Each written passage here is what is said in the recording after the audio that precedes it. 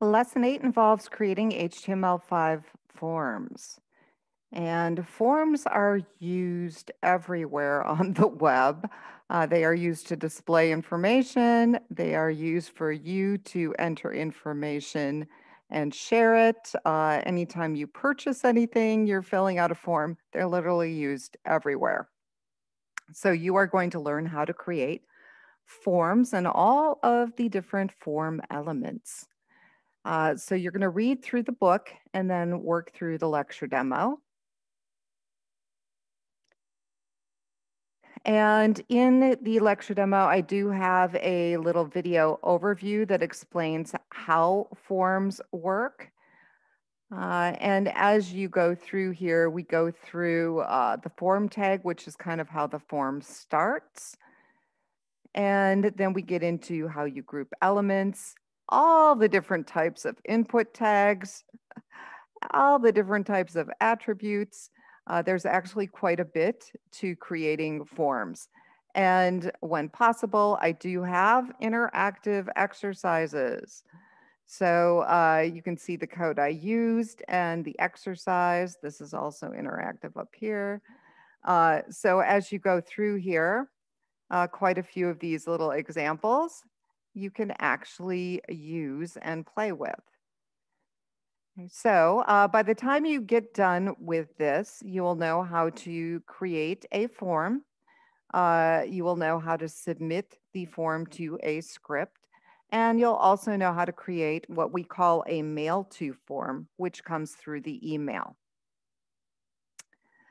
Uh, then uh, you will work on the textbook assignment which gives you some practice creating a regular form that submits to a script and also a form that submits to email.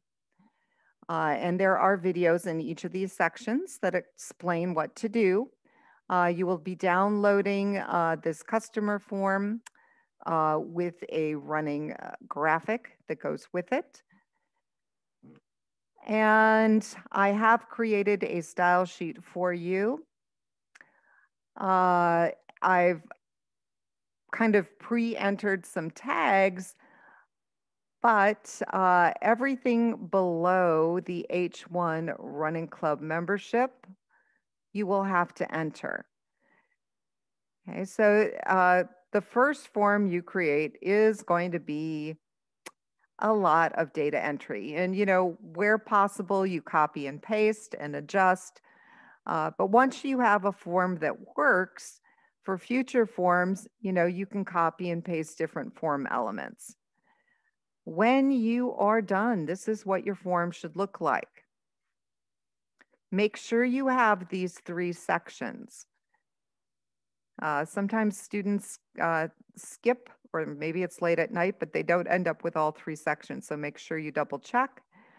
Um, this will be the form that you submit to a script. And the script that you have to submit to is entered in the form tag. So this is where you are going to be submitting to the form processor. Basically, all it does is it displays the uh, form element and the value that you entered back to you. Uh, then you're going to take that form and you're going to convert it into a mail to form. Uh, and there's a video that explains how to do that, but basically you change one line in the form and it becomes a mail to form. Okay, so that is the assignment. Uh, then you are going to do uh, your own assignment in the lab. So in the lab, you're going to create your own form and you can use that customer form as kind of a template. Um, I do have an example that has all of the required elements okay, in the form. Uh, but this is the type of form that you're going to need. You need to have certain text elements. You need to have uh, check boxes and options. This is an open list box data list. Okay, so uh, you do need different elements, and this kind of goes through what you need on your form. Okay, and you will be um, submitting to a script. In fact, so you get the address right, you may want to just copy and paste right from here. And so uh, once you've got the form, you will uh, transfer it, uh, add it to your assignment page, transfer everything, and add done to the Dropbox. Um, because the forms are kind of fun to look at, you are going to share your work with the class by going into the discussion forum. And uh, you're going to post a link to your form.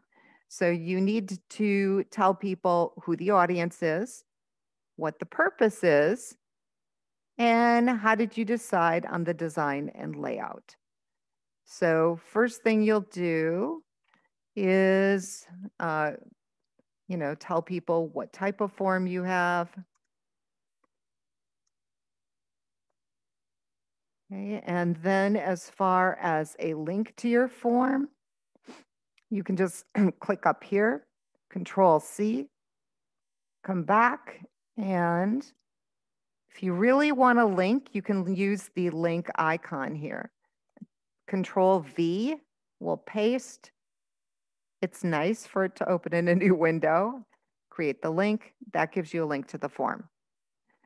Okay, and then you can answer the questions. In fact, you can kind of copy and paste those. Who is the audience? Students. uh, I should say current and potential. Uh, what is the purpose? To find out preferences for class times, days. How did you decide on the design and layout? let's see, I used a flexible layout um, with a calming background image and colors that go with the image. All right, so answer the questions, uh, post to the forum, and then uh, after this is due, uh, the next week, your classmates will be taking a look at your forms, and you do need to reply to at least one post uh, from another student. Okay, so uh, that is pretty much what your discussion forum involves. And once you finish that, you are done with the work for the week.